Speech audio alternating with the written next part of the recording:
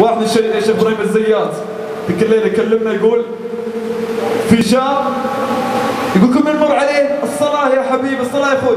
يا رجال الصلاه بطلوها إحنا طبين في البلاك.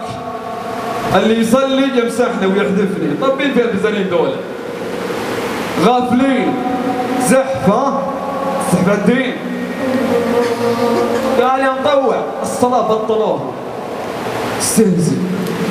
والله العظيم يا إخوان يقول الشيخ إبراهيم يوم عرفه اللي يدعي اللي يصوم اللي يذكر الله عز وجل قرآن ناس عبادة جوه مليان بالعبادة. يقول قسم بالله العظيم يبسطوه ميت خشوا عليه المتوفي مفتعل بواحد والله العظيم قبض الله أرواحهم اثنين. ما فصل بينهم إلا بالشفرة. قسم بالله فضحهم الله عز وجل في الدنيا قبل الآخرة. بعض الناس ما يصدق. ما يصدق. لكن قسم بالله العظيم يا إخواني إن هذه القصص ما رويناها يا إخوان من روسنا الا تثبتنا منها. بعض القصص أنا أستحي أقولها والله إلا بالجلسات الخاصة. بذكر منك واحدة بس واحدة بس. والله العظيم من اللي اذكره لك الآن والله أنا أنزل واحدة شيء وقفنا عليه. أدخل جامع البازل في تبوك. جامع يصلوا فيه على الاموات أول ما دخلت واحد 200 ورا. شيخ خالد شيخ خالد تعال تعال تعال. وقفت طلعت سم. تقنى تو طالع جسم. بين تو ملتزم مستقيم. سلم علي. قال يا أخي أنت وينك عني انت؟ والله كذا يا أخوان. أنت وينك عني؟ هذه رسالة للمطاوعه للدعاء. انت وينك عني يا أخي؟ قلت والله ليش سلامات وش فيه؟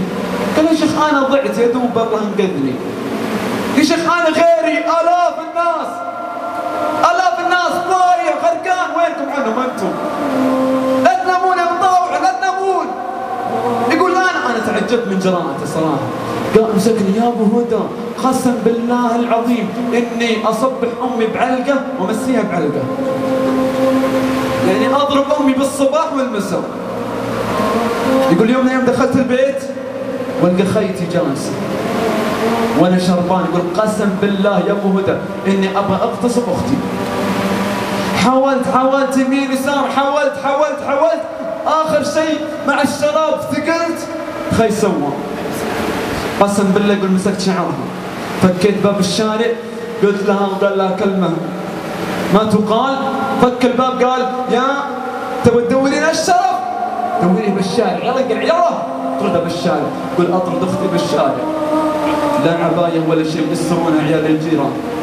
وسكر الباب قام يبكي يبكي يبكي. يقول يا أخي كنا والله العظيم إن البهايم أفضل منا. والله البه... البهيم عنده رحمة. ذكرها الله إنهم كالأنعام. بل أضل. أولئك هم الغافلون.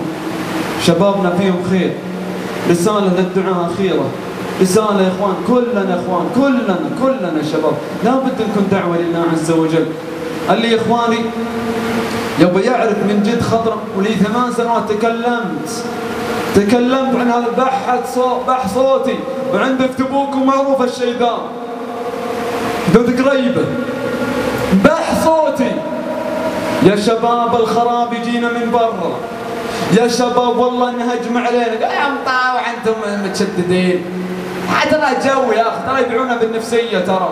لا تدققون من طاوعه اخر شيء ينطق الله مروج راس كبير.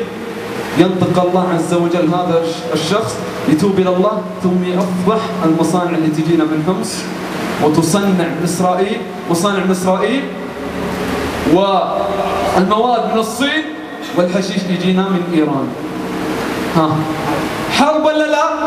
يقول إذا كانت هذه البضاعة تورد بالسعودية يقول نص القيمه يقول هذا الرجل يقول هدفنا الرئيسي بلاد الحرمين. خلي يفسد الشباب خلي عقومه خلي ما يصلي خلي نضعف خلي خليه مجنون يموت بسرعة. ما نبي الشباب يبي يدبرون